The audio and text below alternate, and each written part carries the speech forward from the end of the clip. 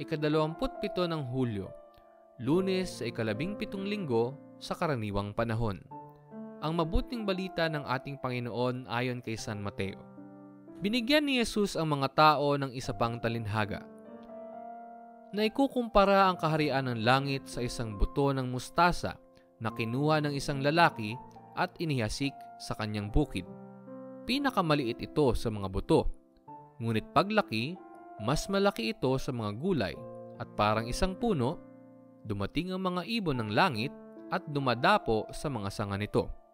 At sinabi ni Jesus, at sinabi ni Jesus ang iba pang talinhaga na ikukumpara ang kaharian ng langit sa lebadurang kinuha ng isang babae at ibinaon sa tatlong takal ng harina hanggang umalsa ang buong masa.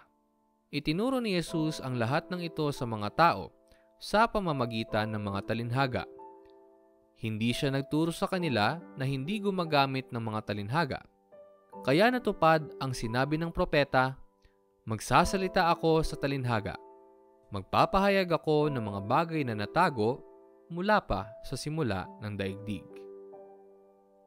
Ang mabuting balita ng ating Panginoon.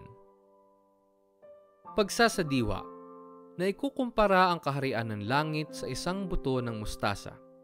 Noong una akong makarating sa Holy Land para sa isang pilgrimage, naghanap ako ng buto ng mustasa para malaman ko kung ano ang kaibahan nito sa buto o butil ng mustasa dito sa Pilipinas.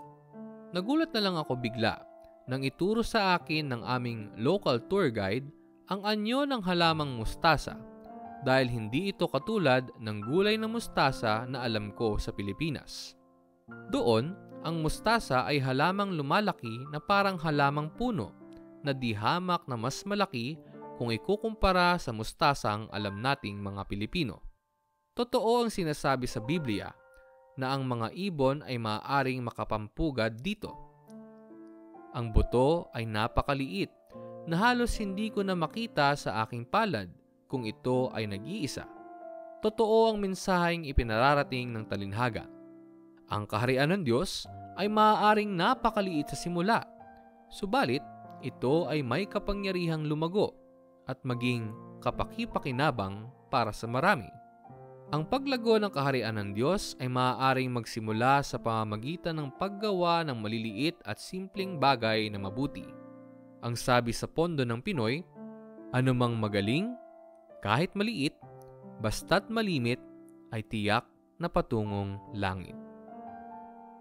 Pagsasagawa Sa maliit at simpleng gawa na may kabutihan ay maaaring magsimula ang kabanalan anumang mabuting bagay na maaari nating gawin para sa ating kapwa ay maihahalin tulad sa buto ng mustasa na maaaring lumago at magdala sa atin sa langit.